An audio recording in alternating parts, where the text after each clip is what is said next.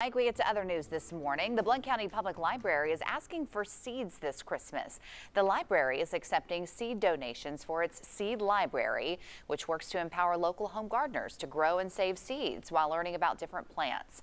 There are a variety of seeds you can donate. Seed checkout will be available again starting March 1st when the Seed Library opens up again. You can find out how to donate by visiting the Blount County Public Library's website circle of love, halo of light.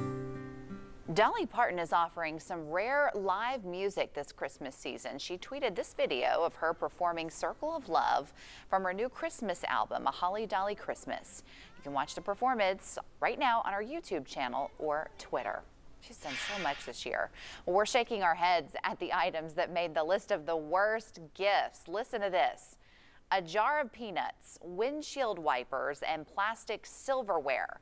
That's according to a survey from Punchbowl. Research says the worst gift givers are usually those last minute shoppers.